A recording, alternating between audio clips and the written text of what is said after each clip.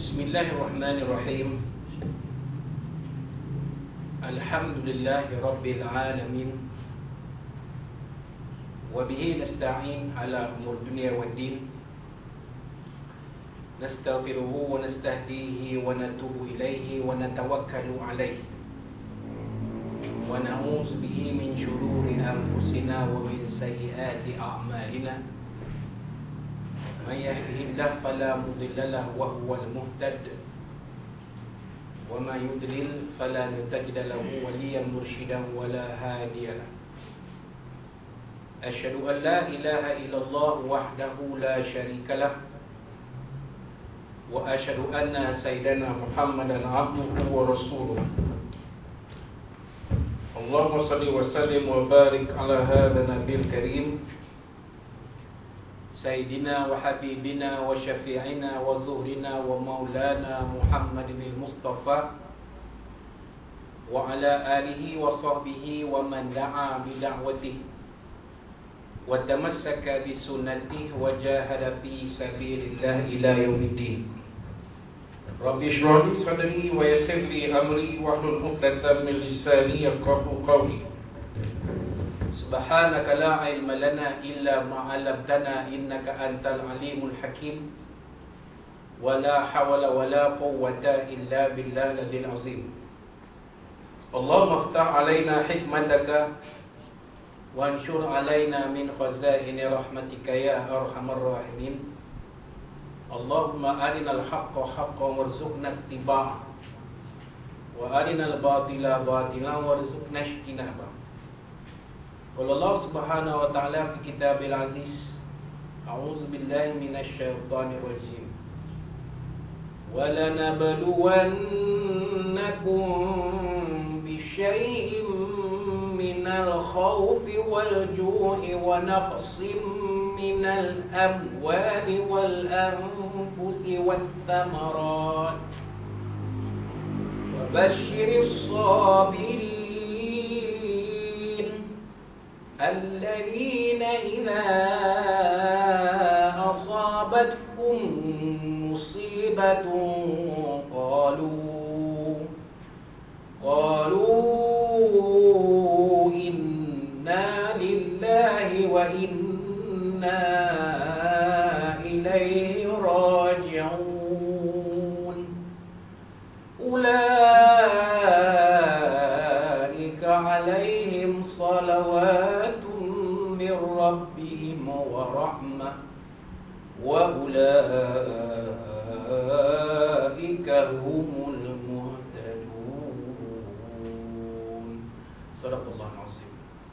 وقال نبينا سيدنا محمد صلى الله عليه وصحبه وسلم أعذر الله إلى أمره أعذر الله إلى امرئ أخر أجله حتى بلغ ستين سنة أو كما قال صدق رسول الله صلى الله عليه وصحبه وسلم yang berusaha Tuan Imam yang raja Tuan Pengurusi Surau Darussalam Pemirsa Bandaraya Pengkalan yang dirahmati Allah ada tahun puasa dan ada di jemaah yang dirahmati Allah sekalian rahimakumullah. Assalamualaikum warahmatullahi wabarakatuh.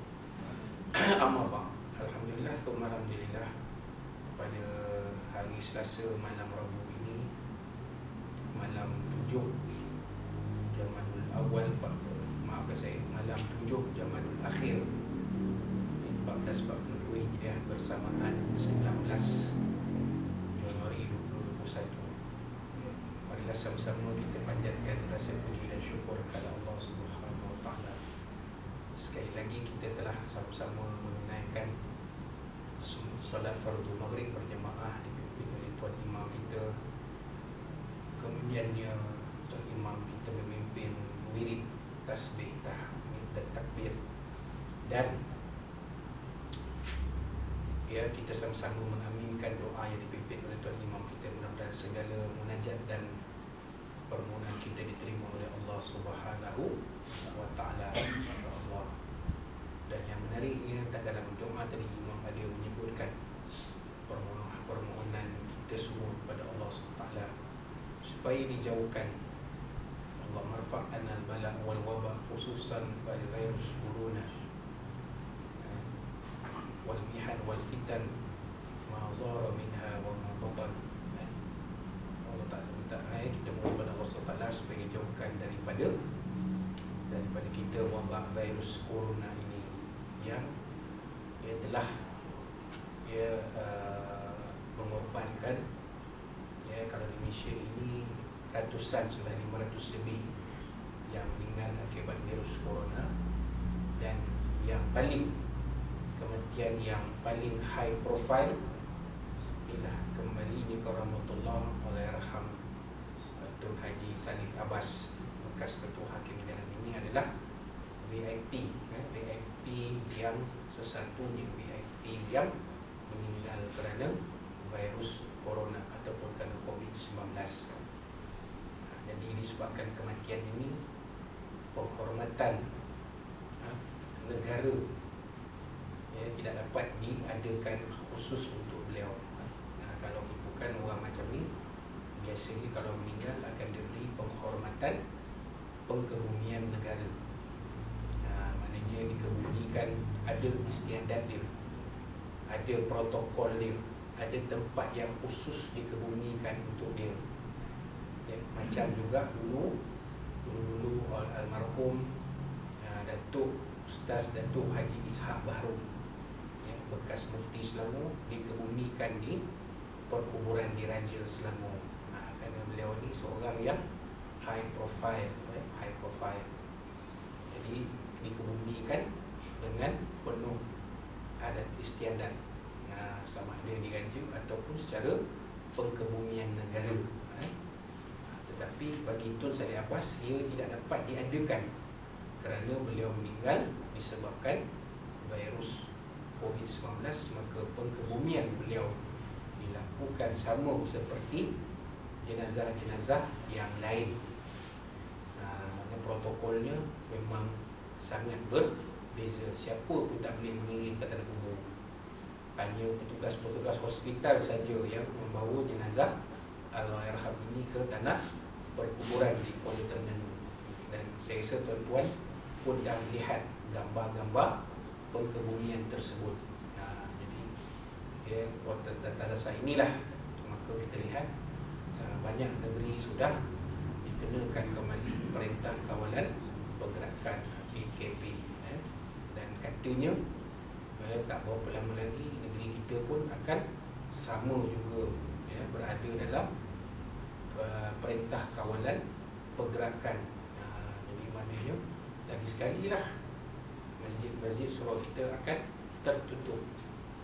Tidak ada semayang jemaah orang awam tak dapat datang ke masjid ke surau untuk mengerjakan solat jemaah dan segala aktiviti pengimarahan masjid dan surau akan terhenti dengan sendirinya dan ini mungkin terpaksa dibuat awal kerana kita sekarang berada dalam bulan Jamadul atau akhir dan kita tinggal 2 bulan saja lagi sebelum bertemu kembali dengan bulan Ramadan. Ya. Selepas ini habis bulan ni masuk bulan Rajab. Habis bulan Rajab masuk bulan Syaban. Habis bulan Syaban masuk bulan Ramadan. Saya tak tahu lah tuan-tuan lalu ke tak tahun, tahun ni nak semayang tarawih di rumah sendiri macam tahun lepas saya tak tahulah tapi kalau tanya saya tak lalu kan kan kerana suasananya akan jadi begitu janggal sekali jadi kita menerima apa yang diputuskan ini. Kerana ya boleh boleh jadi ada kebaikan atau hikmah sebagainya dan jangan lupa kepada sahabat kita ya, yang dalam penguzuran ya, ada sahabat kita yang katanya hari ini nak di uh, dijalankan pembedahan jantungnya ataupun mungkin besok ataupun dah buat uh, yang ada saya pegang Facebook sahabat kita masuk hospital akan dibedah jantungnya pada bila-bila masa jadi kita sama-sama doa. Untuk bila kita ya, kan ya, untuk bila kita kan Cik Adam eh